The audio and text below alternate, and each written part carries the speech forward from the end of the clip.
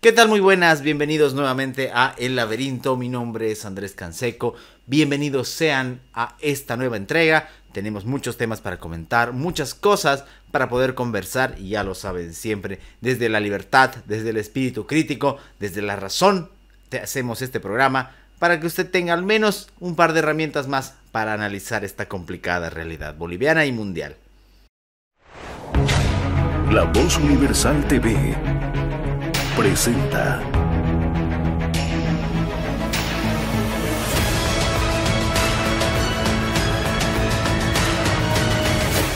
El laberinto con Andrés Canseco. Si nos preguntaran a varios de nosotros cómo empezamos el año, seguramente esta sería la muestra gráfica de cómo lo empezamos. Con gases. Y sí, utilizo la primera persona del plural, porque estos fueron los gases que lanzaron a nuestras casas, a nuestras calles, a nuestros amigos, a nuestros familiares, lejos de cualquier intento de represión civilizada, hace dos meses, entre la frontera del año 2022 y el 2023, con una ferocidad que suele a veces acompañar cierto tipo de órdenes venidas del Ejecutivo, la Policía Nacional gasificó a muchísima gente en este país sobre todo en este departamento de Santa Cruz. No, de nada importaron los derechos, no importaron las...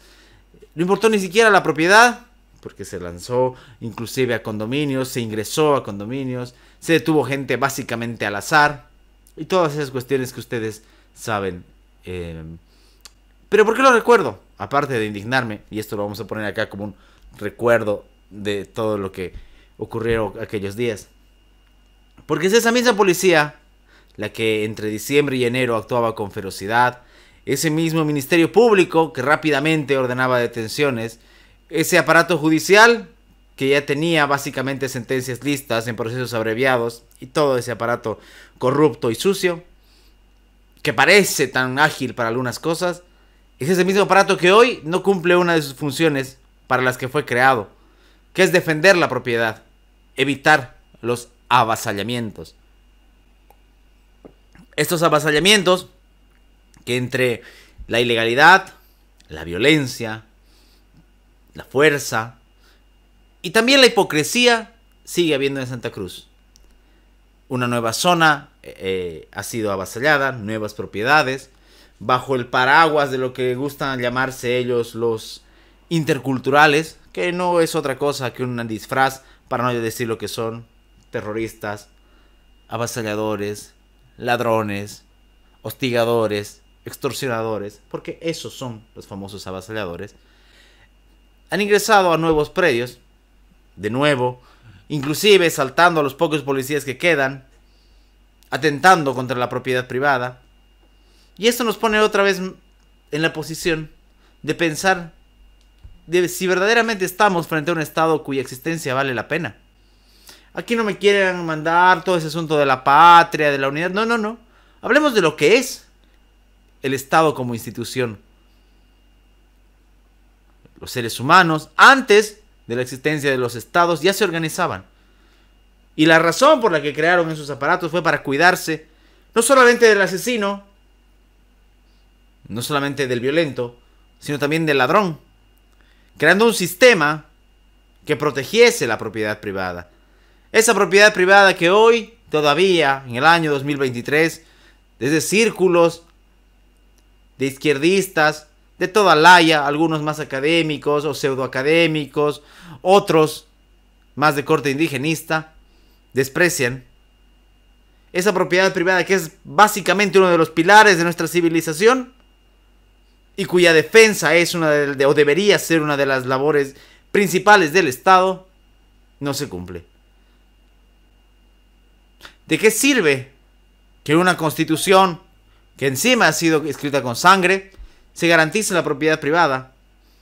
Cuando no solamente es que no se puede controlar a los avasalladores, sino que además desde el, desde el Estado se los alienta.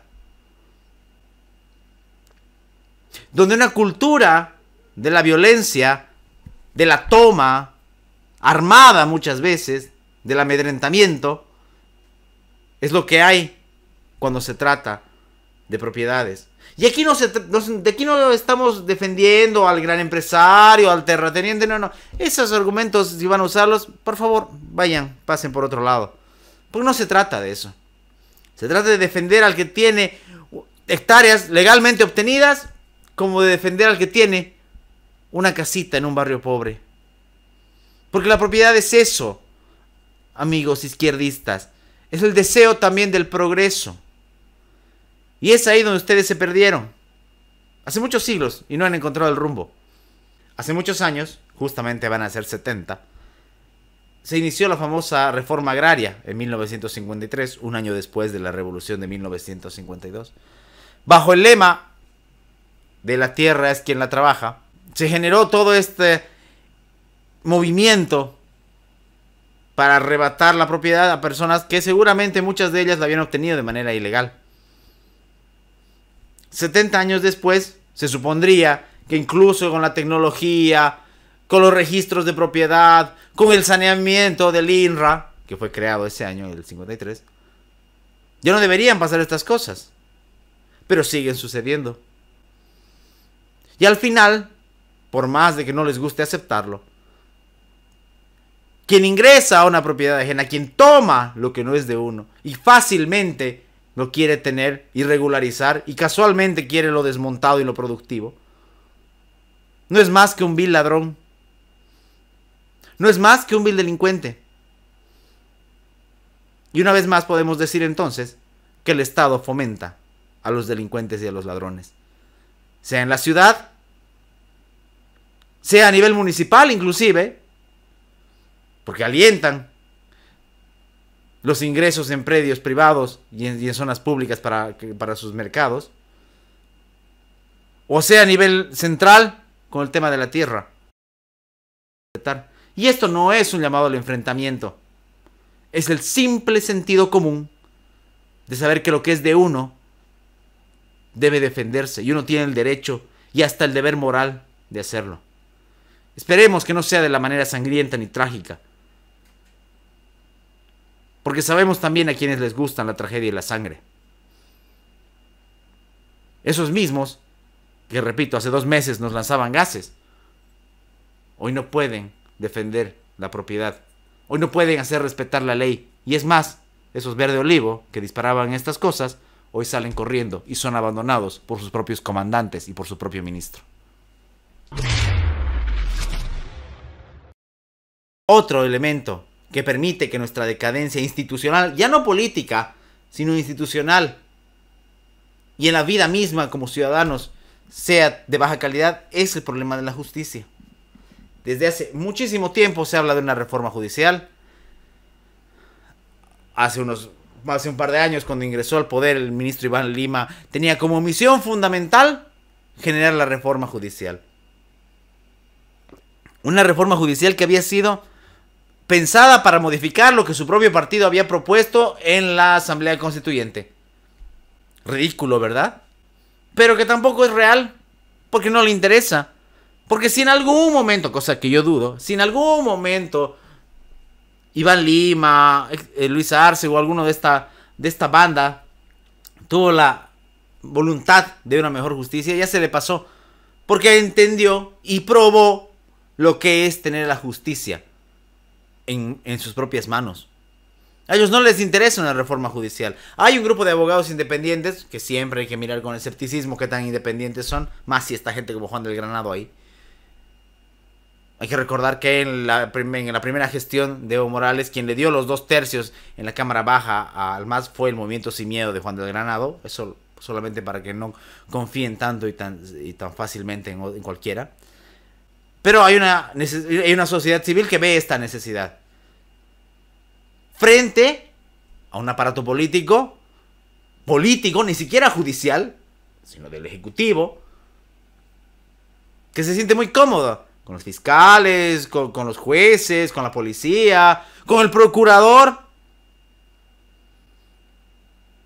Y se encuentran mm, bastante plácidos. No les interesa la reforma judicial. No, a ellos no les interesa que usted, tenga un proceso parado hace dos años.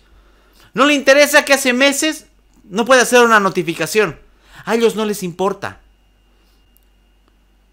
menos a los jueces, ni a sus secretarios. A ellos les importa que usted tenga que fomentar lamentablemente su corrupción para poder hacer algo de justicia. A ellos no les importa que los feminicidas salgan, porque varios de ellos son de su partido, por cierto. Que no le mientan. Es, falso. Esa justicia plurinacional, ellos la han construido, ellos la han depravado, ellos la han ultrajado y hoy la utilizan para la persecución política y para la corrupción y para encubrir a sus amigos. Así que lo primero que tenemos que hacer para darnos cuenta si queremos una verdadera reforma judicial es saber que no va a venir del poder. Hay que exigírsela. Porque de su voluntad no va a haber. Ellos son muy felices con esta justicia azul vendida y plurinacional. Entre lo que pasa en Bolivia y lo que ha, venido pasando en Nicaragua, además de Venezuela y otros regímenes abusivos, uno puede plantearse la pregunta de carácter político y hasta filosófico, porque implica una cuestión moral. ¿Debe un no creyente defender a los miembros de la Iglesia Católica? La respuesta, por más complicada que parezca, es muy simple. Sí, sí debe. ¿Debe alguien defender los derechos de, otra persona cuya iglesia o fe es diferente? Sí, por supuesto. Esto que parece una obviedad, no lo es. Porque desde la actitud del régimen de Ortega y su esposa vicepresidenta, la detención numerosa de sacerdotes, ahora con el caso del, sacerdote Álvarez, que se negó a dejar Nicaragua, uno puede ver cierta antelación hacia lo que sucede acá y cierta relación.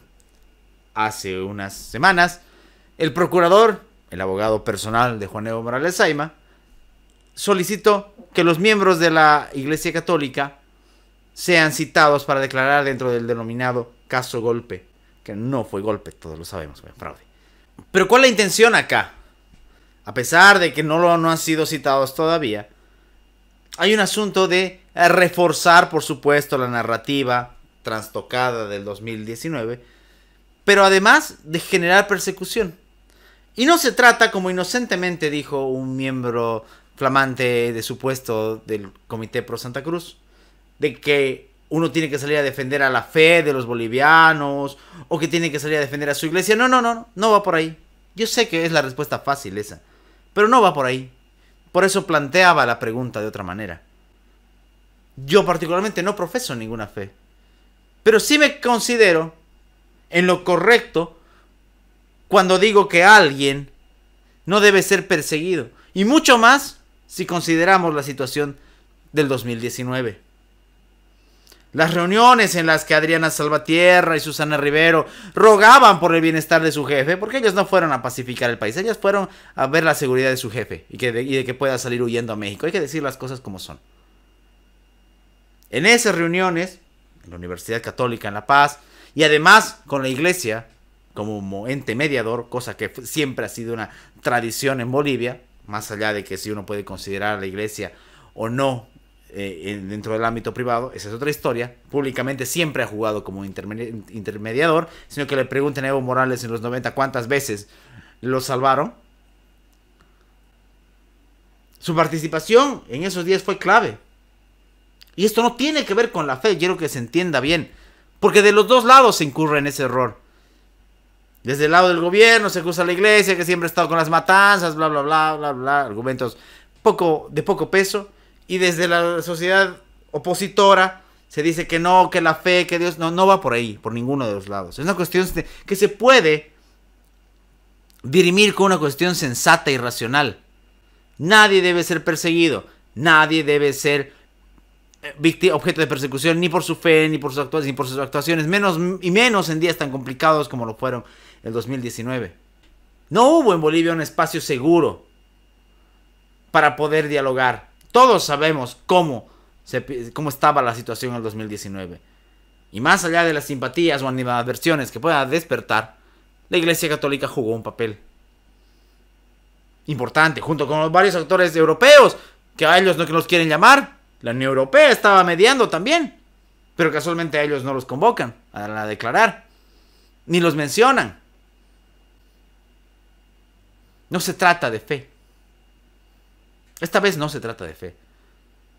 Se trata de la sensatez, de la no persecución y en el fondo también de la tolerancia para el que cree, para el que cree distinto o para el que directamente no cree en nada. El respeto a las libertades, el respeto a las garantías fundamentales, el respeto al debido proceso no tienen color polo, no deberían tener color político, ni religión ni credo. Pero como en este país todo queremos instrumentalizarlo, nos olvidamos de que tras todas esas cuestiones religiosas, étnicas, culturales, la base verdadera debería ser el ciudadano, el individuo. Y nos enfrascamos en las colectividades y es ahí donde también perdemos. Es por eso que uno está en contra de la persecución política, judicial, sea quien sea, y de cualquier credo al que responda. Los amigos de Liberland, esa gran librería ubicada en el centro de Santa Cruz de la Sierra, nos han enviado este libro de Murray Rothbard llamada Educación Libre y Obligatoria. Como saben, este libro de Unión Editorial y en general los libros de Liberland tienen esta vertiente hacia el liberalismo en sus diferentes variantes. En el caso de Rothbard, por supuesto, hay una inclinación al anarcocapitalismo. Eh, en este libro, sin embargo, me parece, además de que nos podemos encontrar temas muy vigentes, temas necesarios para pensar y repensar cuestiones que damos por hecho en la educación.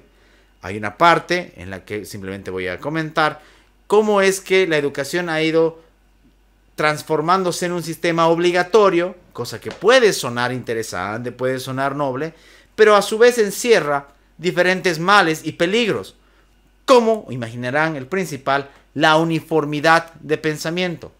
La forma de educar desde el Estado implica, si no un adoctrinamiento, cosa de lo que podemos eh, ver con, con el asunto de lo que pasa con la nueva malla curricular, sí al menos la necesidad de uniformar al estudiante. Los diferentes sistemas educativos pueden ser inclusive, menciona Rothbard en el capítulo número 2, si mi memoria no falla, no, en el 6, perdón, pueden ser comparados hasta con la libertad de expresión, dice Rothbard. ¿Cómo nos sentiríamos, o cómo estaríamos, dice Rothbard, si en determinado momento un Estado, cualquiera que fuese, dijera, solo va a haber un periódico? Y todo aquel que quiera hacer otra forma de periódico no va a poder o va a tener que pedirme permiso. Suena siniestro, suena totalitario, suena distópico, ¿verdad? Entonces, si suena tan mal, ¿por qué se hace lo mismo con la educación? En determinados momentos de la historia boliviana, a pesar de las reformas que hay y hoy en el presente, la educación es controlada de manera muy rígida por el Estado ni qué decir en otras experiencias en otros países. Y además se prohíbe que otras personas u otras instituciones eduquen libremente. Alguien podrá decir, de manera muy inocente, pero si hay escuelas privadas, hay universidades privadas. Y siguiendo la reflexión de nuestro querido amigo Pablo Maldonado, con quien tuve el poder, el gusto de poder conversar el otro día sobre esto, no hay una educación privada pura hay gestión privada en la educación, pero no escuela privada. Porque todo se rige bajo un mismo sistema. Una ley, Abelino Signani, que regula los contenidos públicos y privados. Por supuesto que los públicos lo hace peor. Porque los, los utiliza para el adoctrinamiento y para todas esas cosas que ya saben. Pero tampoco deja mucho margen, margen, salvo que haya una actitud noblemente rebelde de los colegios privados, de poder enseñar libremente. No solo en contenido, sino hasta en valores. Hablábamos hace rato de religión. Al final, la oferta académica es eso, una oferta de libre mercado. Y no está mal que lo sea. Al contrario, también podría ser una buena manera para que los padres le den el valor y el espacio que corresponde a la educación. Menciona además, cito una parte del libro de Rothbard, de la mano del sistema de escuela obligatoria llegó un resurgimiento y una gran extensión del ejército, y en particular de la institución del servicio militar universal obligatorio. ¿A dónde nos suena esto? Por supuesto, históricamente hace referencia al sistema prusiano, pero en el presente es Bolivia. ¿Dónde es el sistema eh, que, que permite el servicio militar obligatorio? ¿Por qué ese chauvinismo tan profundo encuentra en la educación, más allá de las botas militares, un eco tan grande? Porque es mal visto que una institución educativa no enseñe los himnos. ¿Por qué? Porque tenemos en este país y en otros de la región todavía la idea de que tenemos que formar soldados antes que ciudadanos, obedientes antes que pensantes. Y eso es algo que alerta muy bien Rothbard en este libro. Y que hoy considero muy, muy vigente para la problemática. La libertad educativa defiende o debería defender no solamente la, la, libertad de las instituciones o de los padres, sino del mismo estudiante, que se consolida en su potencial como un individuo, no como un miembro de la colectividad. Uno es, el estudiante es valioso por cuanto aprende y cuando aplica, no por ser de una escuela, no por X, no por ser de un barrio, no por ser de una región,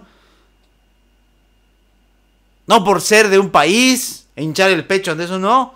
Es un individuo de carne y hueso, con sus inquietudes y características.